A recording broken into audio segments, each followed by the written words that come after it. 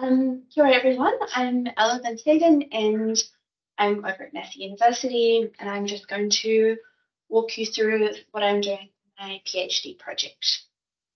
So I'm looking at large deep-seated landslides um, in the Whanganui Rangitikei Hill country.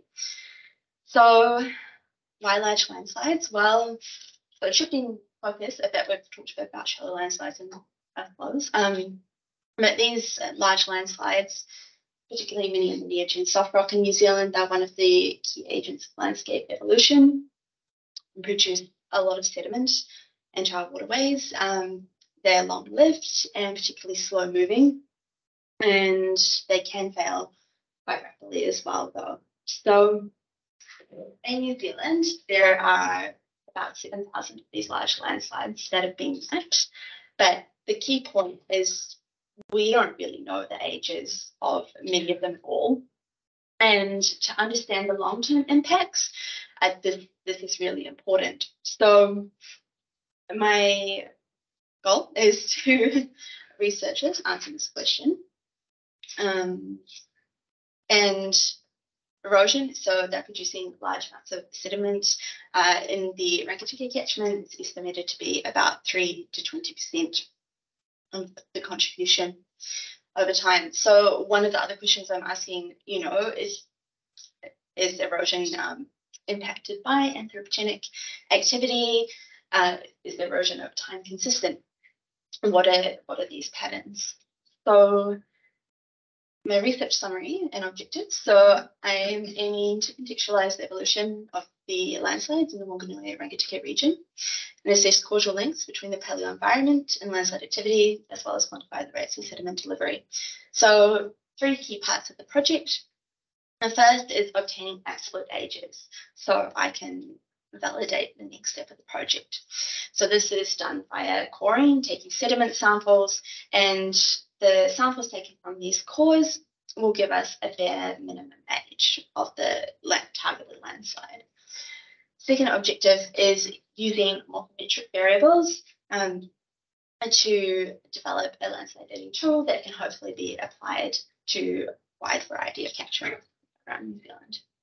And the third part of the project builds on the initial two, and this is using that morphometric tool to predict the landslide ages and estimate the long-term average risk. So the study area, Whanganui Rangitikei Hill Country, uh, lots of it. So primarily soft rock sediments, but there are volcanic influences coming in from the Volcanic Zone, uh, Ruapehu, and so on. And that's actually really helpful because we can use these differences that are present in the hidden cores as chronological markers. So I'm focusing on three major catchments in the area, Whanganui, the Mangawhero, and the catchment. And the landslides there. And then once the tool is developed, hopefully being able to apply that on a wider scale. So with the coring, uh, so we have these small lakes that form in the depressions of landslides. And I will, so I've, I've been on a few field campaigns already, and I've got cores from the Rangitikei catchment and the Barrow catchment. And with the coring, we've had to be quite targeted in our approach. So looking at those really large landslides, the landslides that impact infrastructure, and the landslides that are in close proximity to rivers, based on their contribution sediment to the catchment.